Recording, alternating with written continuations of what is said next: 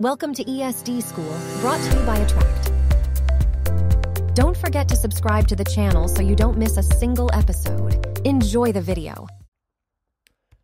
Le training exercise for uh, training yourself for incision. If you are uh, not again uh, an ESD uh, uh, frequent uh, performer, a good exercise could be to, to do small incision uh, around the lesion for closure because it's a lot of small incision. So, for example, I share this kind of small incision to my trainees. Um, even if the ESD is in the right colon, they cannot uh, use, they can at least do this small incision all around the lesion uh, because it's a good training to reach the submucosal space to see that they could reach the blue layer like this. And this kind of incision will uh, allow them at the end to close the defect with uh, some clip like for example here. You catch one hole go to the opposite side and it avoid the clip slipping when um, uh, you try to close a wound in order to reduce the bleeding risk, for example, for patients with high risk of bleeding. Second uh, kind of exercise uh, is uh, the hybrid uh, technique, for example, for lesions that are in between 15 and 20 millimeters. You want to be R0 because, uh, for example, in this case, it's a non-granular LST, which was relatively small. You can try to do your incision with the tip of the snare and it's a good way to to train in uh, in uh, in incision, not in ESD because you will not uh, do your your dissection after doing this circumferential incision, but at least with the tip of the snare, uh, you can uh, train yourself doing the incision. You should inject a lot before.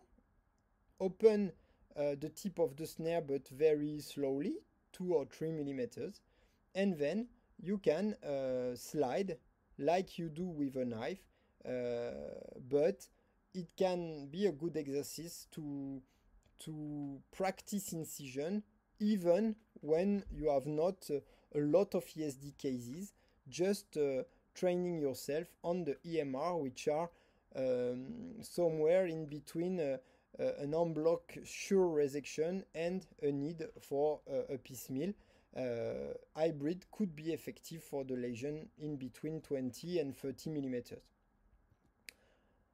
Like this. Last exercise, which is a, a good way also, is the entrance uh, during POEM procedure. It's not a, a very long and difficult incision, but it's a good way to find the layer, do your small hole, re-inject to be sure you are in the submucosa and you pass through uh, the muscularis mucosa, and then you will move straight. It's a good uh, exercise to do incision straight and to slide at the surface. And just after, you have to do your trimming in the two edges uh, of your POEM, like this, in order to enlarge the space and be able to enter into your tunnel uh, very uh, easily. I like to face the muscle in this case, use water, and enter into uh, the pocket of your tunnel by doing this kind of incision and then you are tunneling for your POEM. But once again, it's an incision which is not so risky because quite easy and um, it, is, it is a good way uh, for trainees to, to have an experience of sliding uh, with uh, the knife at the good depth. Finally, some examples of uh, incision. Uh, here, um, it is the uh, left side incision of a squamous cell carcinoma. Uh, usually, the gravity is helping when the patient is in supine position. And um, I like this exercise for trainees because on this way, um, the sliding is uh, very good usually because uh, you have at you are at the lower part of the patient if it's in supine at six o'clock position and you can really uh, try to slide as much as possible with the ceramic at the surface and the tip of the electrode at the good depth. So we are passing on the on the dots because uh, the margins uh, um, taken was a little large so we decided to pass uh, very close to the dots and not take uh, even more margin and to join the uh, distal incision uh, thanks to, to this. But once again good exercise not so difficult not really dangerous um, to have a straight sliding incision. Next case here uh, anal verge incision, which is not the, the easiest one because you have a lot of bleeding. And you can you have to follow the, the shape of the anal uh, verge which is really round and C-shaped like the esophagus.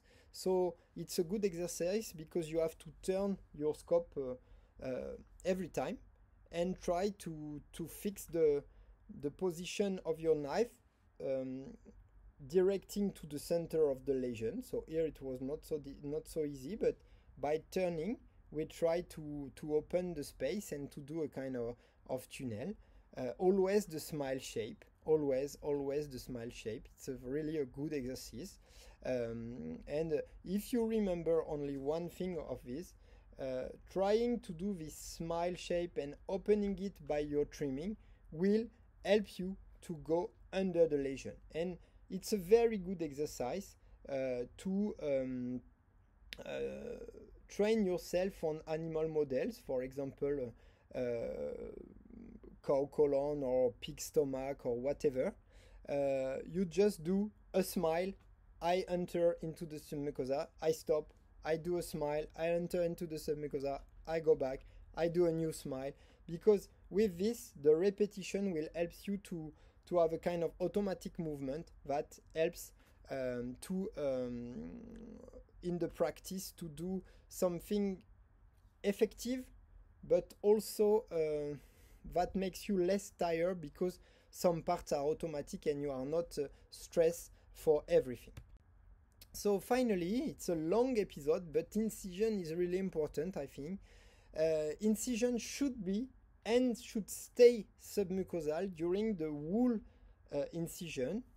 It should be as deep as possible in order to enlarge the space to access the submucosa without being dangerous. The best way for me is to do a small dot first because you enter the good layer, you control that you are in the good layer, and after you move from this point, always at the same depth. The technical tricks are sliding is very important, round shape are very important, and try to always orientate your knife to the center of the lesion.